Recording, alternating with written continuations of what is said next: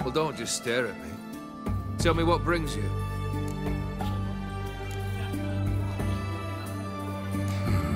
You ever play Gwent? An immortal demands you fulfill three wishes, and you've the gall to propose a round of Gwent.